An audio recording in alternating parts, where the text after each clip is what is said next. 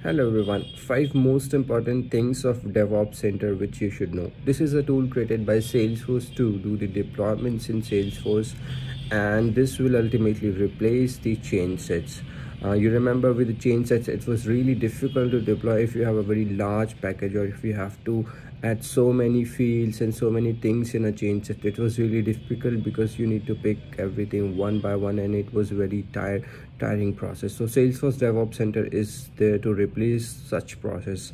Number two see you can only uh, you can only access devops center from the production or or uh, from your developer edition. So you will not be able to access the uh, DevOps Center from the sandboxes. You need to have the production access. You need to install the DevOps Center there and then from there you can manage the pipeline and create the projects and everything.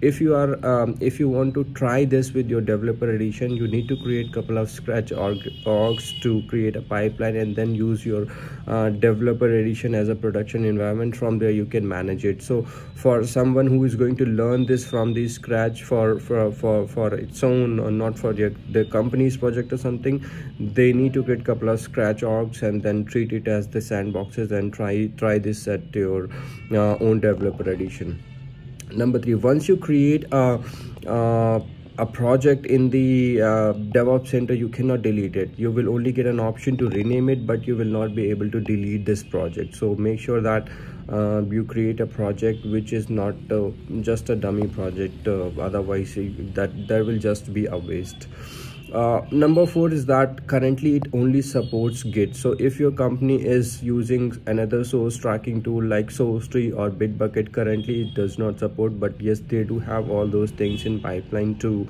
um, uh, to uh, you know develop. So once they improve it there'll definitely be more support to other source tracking tools as well number five currently it has few limitations. It is not integrated with the jira story. So if your project is using something like jira then you have to uh, you know manage the user stories on two places. One will be the jira the other one will be the work items you will create within your devops center.